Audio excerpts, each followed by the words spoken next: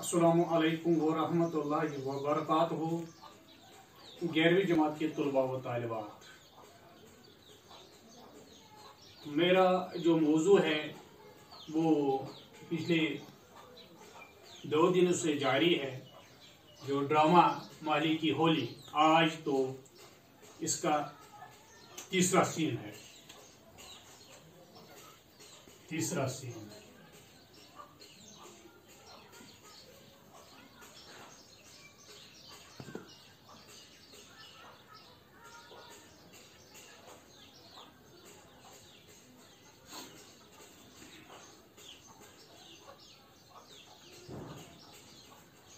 पर्दा खुलता है। लाला जी के घर का मंजर। लाला जी गुस्से में टहल रहे हैं। चेहरे से परेशानी ज़ाहिर हो रही है। घर में सुनाता है। लाला जी की बीवी, अरे, क्या बात है? कैसी तबीयत है? लाला जी कुछ नहीं। लाला जी की बीवी तुम तो काम से जारी थे, जा रहे थे। लाला लाला जी आज नहीं जाऊँगा। लाला जी की बीवी क्या बात है? कुछ तबीयत खराब है? लाला जी हाँ खराब ही समझो। कुछ ठहर कर सुशीला की माँ बड़े दुख की बात है। क्या बताऊँ? लाला जी की बीवी, अरे, जल्दी बताओ। तुम तो और दुहाई दे रहे हो। दुलाई ये नए अल्फाज इसमें।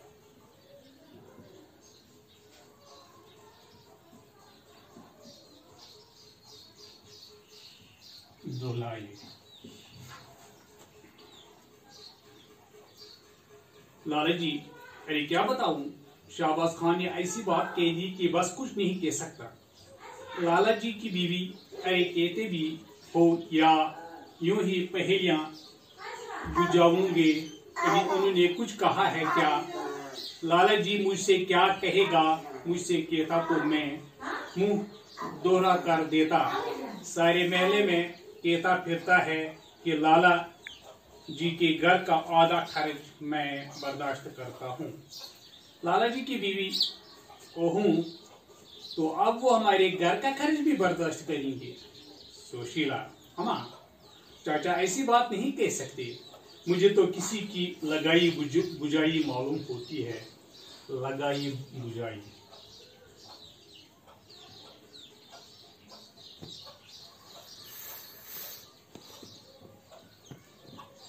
लगाई बुझाई। लाला जी, बस तो चुप रहे। हमने तो अपने कान से सुना है। मैंने भी इसे महले भर में जलील न किया तो मेरा नाम भी तेज राम नहीं, दरवाजे पर किसी के खटखटाने की आवाज़ आती है। अरे भाई, आया। जरा देखना तो भाई कौन है। कहीं पंडित जी तो नहीं आ गए सुबह आने वाले, सुबह आने वाले थे। सुशीला बाहर से आती है। हाँ पंडित जी ही आए हैं। कहते हैं कि अगर वक्त हो तो आज होली के चंदे के सिलसिले में दो चार जगह खोले लाला जी अच्छा भाई, ये होली की मिट्टी का सेक्रेटरी होना भी मुसीबत हो गया। पाँच साल से कह रहा हूँ कि किसी दूसरे को चुन लो, मगर लोग मानते ही नहीं। लाला जी बाहर आते हैं। पंडित जी, लाला राम राम। भाई, अगर आपको तकलीफ़ न हो तो जरा दो चार आदमियों से मिलने। लाला जी हाँ हाँ ज़रूर। तुम अच्छा हुआ। आ गई तुमसे कुछ बात भी करना है।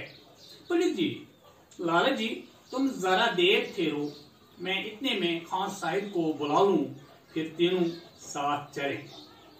चलेंगे। लाला जी खान साहब को बुलाने की कोई ज़रूरत नहीं। उनके बगैर कोई काम नहीं रुकता बड़ा आया से साहूकार कहीं का मेरे घर का खर्च बर्दाश्त करता है। इसको मज़ा चखा दूँ तो लाला शिवराम की औलाद नहीं। क्या बात होगी लाला जी? पंडित जी का मुँह खुलेगा। पंडित जी का मुँह खुले का खुला रह जाता है। चलो अभी सब बताइए। देता हूँ। पर्दा गिरदा है। धुलाई घबराई। हाँ लगाई बुझाई। जिगरे के लिए उकसाना।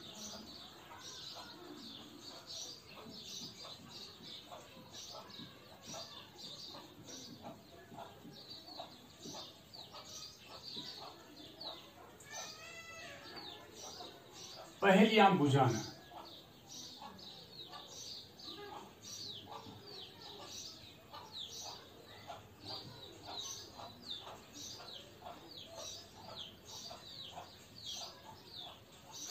पहेलियाँ बुझाना।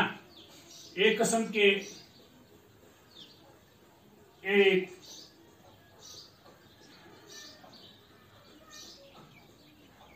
किस्म के झूठे गिल्ला करना।